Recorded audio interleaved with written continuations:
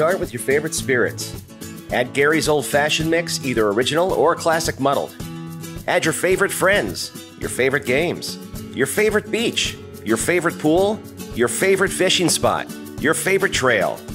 Gary's Old Fashioned Mix, created in Wisconsin, is made with real cane sugar and the finest bitters for a better tasting cocktail. Gary's Old Fashioned Mix, sharing a piece of Wisconsin, one cocktail at a time.